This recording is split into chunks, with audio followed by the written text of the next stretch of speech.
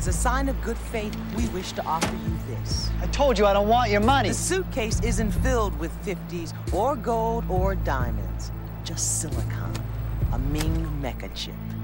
Ming Mecha? They're not even declassified yet. You're right.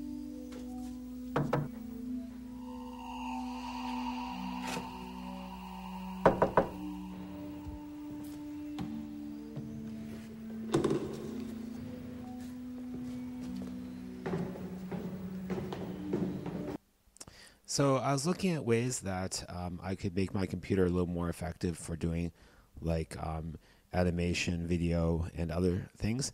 And um, I was kind of split by the idea of getting um, a new CPU or a new GPU. And I heard that um, GPUs are um, probably the better way to make three dimensional animation. Trouble is, if you just use a GPU, then anything having to do with a CPU, like using your computer normally, um, would be slow still. So um, my board didn't originally take the Ryzen 5000 series, and that's what you can get at the store right now. So I was a little bit. Um, I looked like I had to get like another motherboard, but what happened was a um, AMD decided to um, to update all the BIOSes so that you can um, run these 5000 chips. So I was looking around at the hardware I had, and I realized that uh, I'd have to change a lot of things or the PSU if I, I had the new, um, you know, one of those RTX cards. So looking at what I had, I realized that uh, if I just got the CPU um, with an additional 40 watts off the power supply, which is probably within its parameters, I didn't have to change any other thing in my computer. And when the CPU um, continued to lower in cost at the store, I became immediately interested. And my power supply, it has um, it's known to have two branches, and it's important to try to balance uh, the stuff on the two branches. Uh, the GPU connectors there one of them has a striped uh, line, and I try to uh, put the striped line one uh, opposite the uh, the power connector for the CPU. So I went out in theory to solve these problems with this, um, you know, about $500 after tax um, CPU since it was on sale, and I managed to um, invoke cer- other certain coupons and whatnot I didn't know I was going to be able to use at the store, and got it down to um, 439 where it was originally uh, 499 and then uh, originally 700 and i was told that uh, other people had purchased it for 700 before me. So i um, took out the, um, the, the first cpu cleaned everything off and um, put back the the new cpu and um, uh, i had purchased this um, better than the original um, heatsink kind of cooling solution but um, I was a little concerned with it. It's a little bit on the cheap side, and uh, it had these LEDs that um, were supposed to go on, and one of them's gone out. And I was looking very closely, and I didn't like the solder connection, so I tried to fix up any possible solder connections, which I really shouldn't have to do. But um, I didn't want the computer to short out and be in any way dangerous, so um, I carefully uh, fixed those connections. Okay, I think uh, I did my very best to put this in properly, I would really appreciate it if it turned on right now. Oh, I turned power on. Main power. Main power. Come on, you can do it.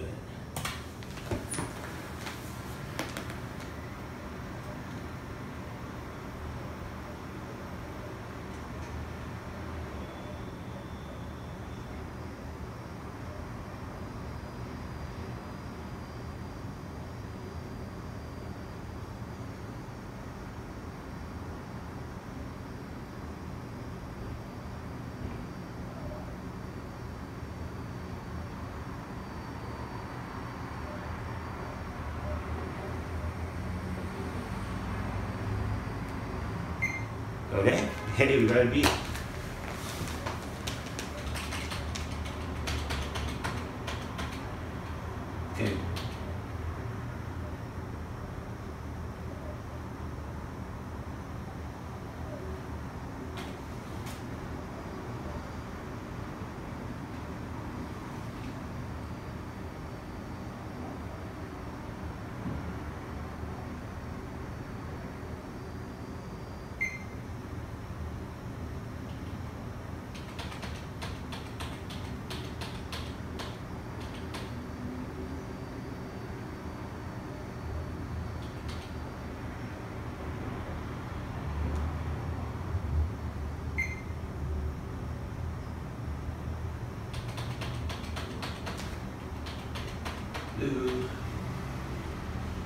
Well, um, I think it's working.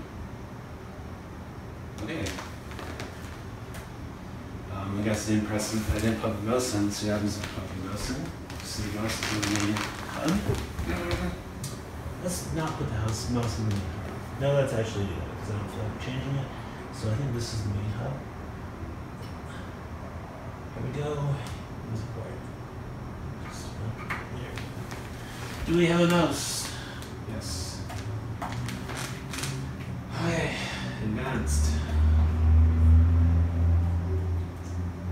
CPU. 12 core. Yeah. So far, so good. So I just wanted to get a feeling that um, it was um, stable before like releasing it onto the OS. If I had any major corruption issues, it would have been here.